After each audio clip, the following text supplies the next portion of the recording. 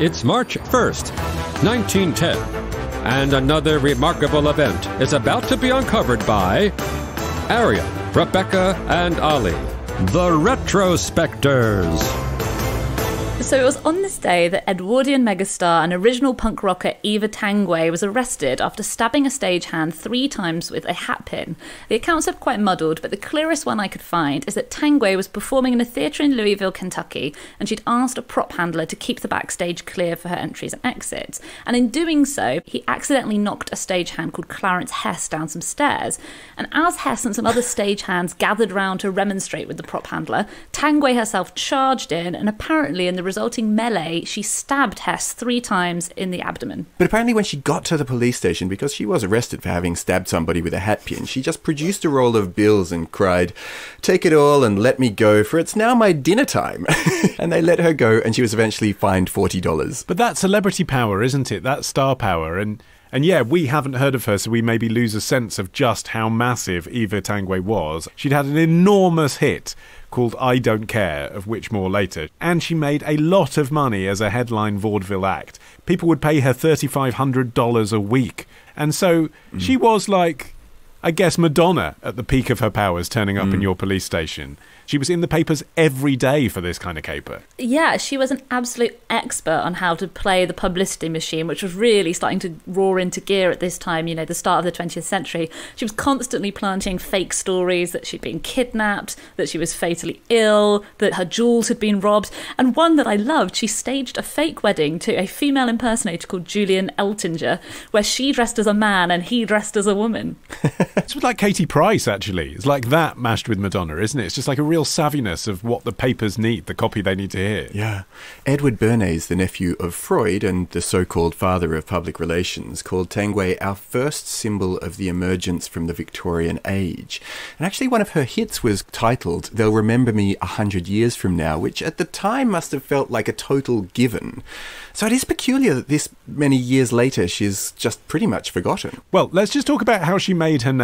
So she arrived in New York at the age of 19, found work on the variety stage, appeared in a show called Hoodoo. And Rebecca, I'm going to turn to you for this. Can you please explain what hot dogging was? Because I looked it up on Urban Dictionary oh, and I suspect it's yes. very different. But apparently she was hot dogging a chorus girl on stage. They had a fight, and then she ended up um, choking her castmate until the girl's face turned blue and she passed out. What's hot dogging? Yeah. Okay, so let's just put it out there. Eva Tanguay's dark side was evident from her very yeah. earliest days. Like this wasn't just like a funny diva flailing her hatpin around. She was. I, there was something wrong with Eva Tanguay. Mm. There was. She physically attacked a lot of people. So hot dogging apparently is trying to draw attention to yourself in the chorus line. Right. So instead of doing the moves the other girls are doing, you're adding your little flourishes. Upstaging. Yeah, mm. upstaging. But when she was called out on this upstaging, yeah, she choked her till she went blue in the face and passed out. And and this was just one of many instances like this. Apparently, on another occasion, in some kind of row to do with a heckler throwing a bread roll on stage. Not quite sure. She smashed another chorus girl's head into a brick wall. Ooh. There was one incident where she was fined for turning up late for a matinee performance, and in response, she slashed the curtain of the theatre to pieces with a knife.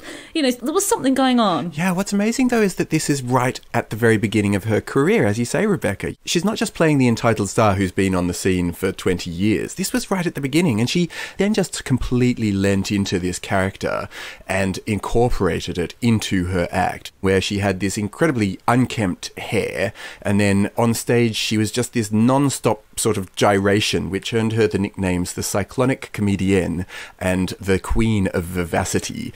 And her costumes were really outlandish. One was constructed entirely of feathers, and another was made of newly introduced Lincoln pennies, and very skimpy, which landed her on several occasions in legal trouble that she was uh, very quick to publicize as ever. But she'd often also switch her outfits in front of the audience, which kind of raised the erotic stakes yet further. yeah, so this is where we get to the hit, right? I Don't Care. It's from the 1904 mm. musical comedy The Sambo Girl. You can use your own imaginations as to why that is rarely performed now.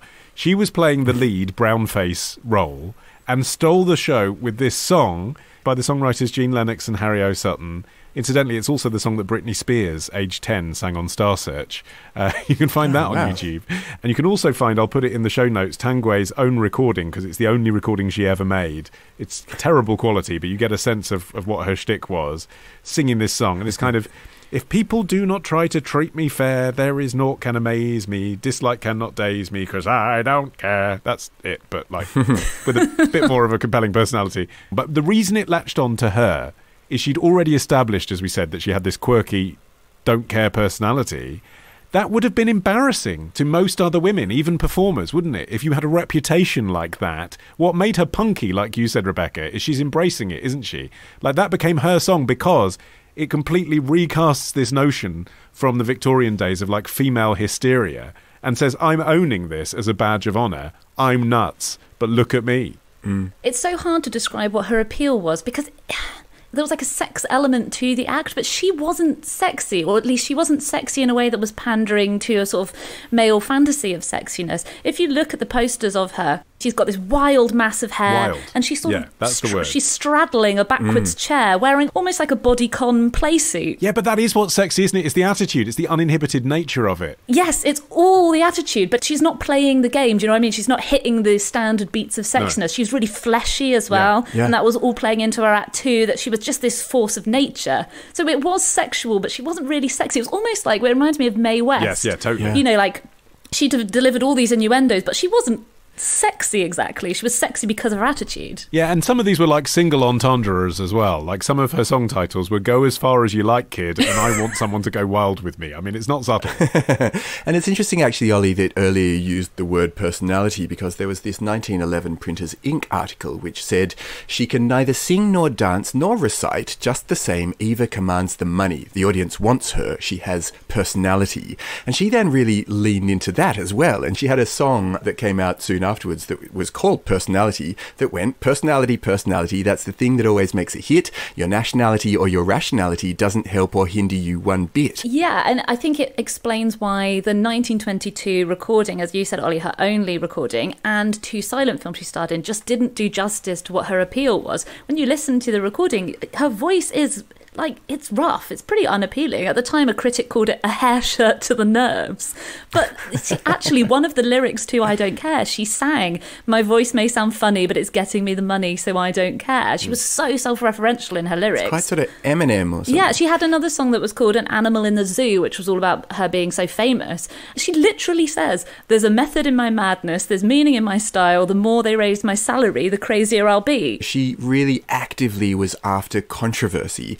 That's like the through line through her entire career. And in 1908, she had this production of Salome, where the role of John the Baptist was played by George Walker, who was a black vaudeville star, whose head was revealed on the silver platter. Uh, He was obviously still underneath it. He wasn't, you know, decapitated for the role. But then throughout the performance, his eyes followed her as she stripped. And that was very taboo busting for the time. And then she went on to have a publicized affair with Walker, which was scandalous for two reasons. One, because it was interracial, but also he was actually married. So it was like, it was pure box office. Did you encounter the letter to Henry Ford? Oh, yeah, but this is the sad part, isn't It it? is. This is later. Yeah, so she lost her fortune in the Wall Street crash, basically, didn't she? Like I guess a lot of hmm. people of that era did.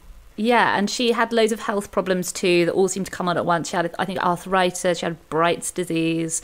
She had everything going wrong with her po- that possibly could, so she just didn't have a way to make the money back. She also spent wildly. She bankrolled this plan to play baseball at night in 1914. She was actually a sports enthusiast herself, and she predicted correctly that playing games at night would be a really popular thing to do and would actually increase attendance. But this didn't work, and she lost more of her money. Yeah, she winded up in Hollywood, like opening shops that sold her old costumes. And if you think that sounds a little bit Norma Desmond, well, apparently she was the inspiration for Sunset Boulevard. I think that's where the Dance of the Seven Veils Salome thing comes from. But anyway, she wrote a letter to Henry Ford, which we still have. This letter is from Eva Tanguay. Of the stage, she puts in brackets. I hope you remember me once you were in the audience when I played Detroit.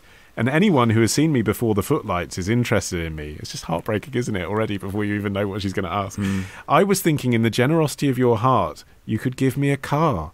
I've always had a car, having owned 11, but now have nothing. I live off a sort of an alley in a small house which is set in back of a big one. There's no view other than the backyards of other houses. It's very sad to have had so much and be cut down to poverty, but my illness prevents me from doing any work, although I could sing on radio if the program was without the audience viewing the entertainer. Hmm. Yeah. Also, he said no. He did just—he got the letter and was like—he didn't nope. ignore it either. Like he got his secretary to write back and said, "Yeah, no, sorry, yeah, we don't give away cars." Yeah. To be fair, it's a good job she wasn't in better health, or Henry Ford would have got a serious stabbing. Tomorrow. you know, the emperor believed God was on his side when he was about to be invaded. Baratieri wanted to retreat. Love the show? Support the show. Patreon.com slash retrospectors. Part of the ACAST Creator Network.